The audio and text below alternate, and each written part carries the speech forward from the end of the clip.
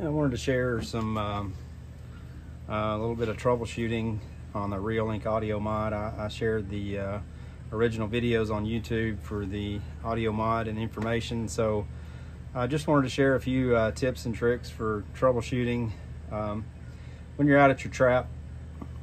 Um, let's say you're having an issue, something chewed a wire, uh, you have a short, something not working. Uh, the audio coming from the camera uh, it's not, not really designed uh, to trip a relay to shut a hog trap, uh, but it works really well to do that and is dependable. So uh, this camera's already been modified. Uh, the speaker here, uh, I just buy that off Amazon. That's an 8 ohm half watt speaker. I've just got a DC jack wired to it. the little short cable I have here is what you're going to have, something similar, going from your camera to your gate box. Uh, is just a shortened version um, so we can test our cable first. Uh, I've just got a, you know, a digital uh, multimeter here. I've got it set on continuity, so, you know, when you touch the leads together, uh, it beeps. So, you know, we can check our, what we use for ground. Uh, you know, so when our cable's good there, we'll check what we use for positive, which is the center pin. That's good. And to make sure our cable's not shorted, we'll check center pin to the outside pin and uh, of course we don't have a short there. So an R cable's good. So we're gonna plug into our camera here and uh, I'm gonna get our camera playing. Um, uh, a really important thing for uh, all the audio mods is the custom sound on your camera.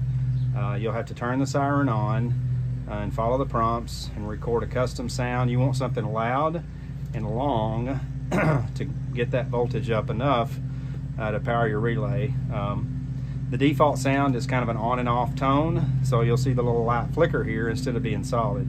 So get your custom sound done, that's gonna help you out a lot. So we'll get our speaker plugged in here. Uh, we're gonna hit our little alarm button. And you'll hear that loud, constant sound, uh, whatever you wanna record.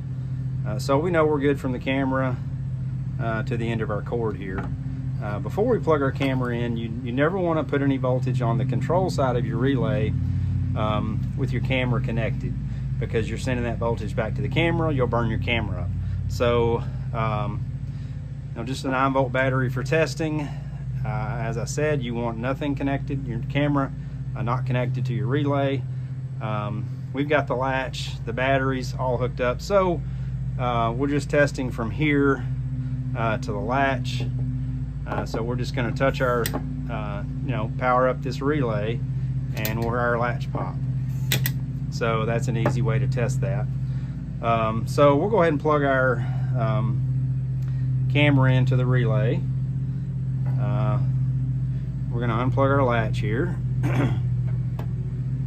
Uh, we're going to trigger alarm sound and you'll see your light light up good and solid. Uh, so we know that the relay is receiving uh, enough power from the camera uh, to uh, close the contacts here and power up your latch. Uh, so just to test, uh, test uh, the wiring and your latch, this is just one of those DC jacks. we're just gonna power the latch, you know, straight from a nine volt battery here. You know, so that lets us know that our cable uh, to the latch is good. So we'll go ahead and plug it in here. Uh, so you can see I've got my camera connected, uh, the relay's connected, the latch is connected.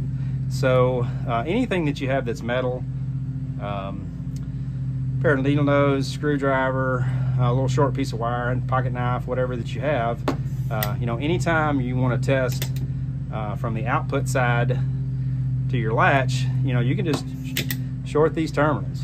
Uh, you're never gonna uh, hurt anything on the camera side because using the solid state relay, you're electronically separated. So uh, it's just a really easy way to test uh, from the relay all the way to the latch. Uh, of course, with the digital meter, uh, I just keep one on my whatever vehicle I'm in to go get pigs so that I can, you know, just make sure, um, you know, the batteries are up here. The batteries never have any load on them. So the setups that I built and have been running uh, two and a half years, believe it or not, uh, still have the same uh, 9 volt batteries in them. Uh, you know, they're just, they, they use very little power when you're uh, popping that latch. So, uh, all right, still got my camera playing. So we're gonna trigger alarm. We're gonna see um, the light light up here and uh, there's your latch. So that kind of gets, gets it tested all the way through. All right, hope that helps.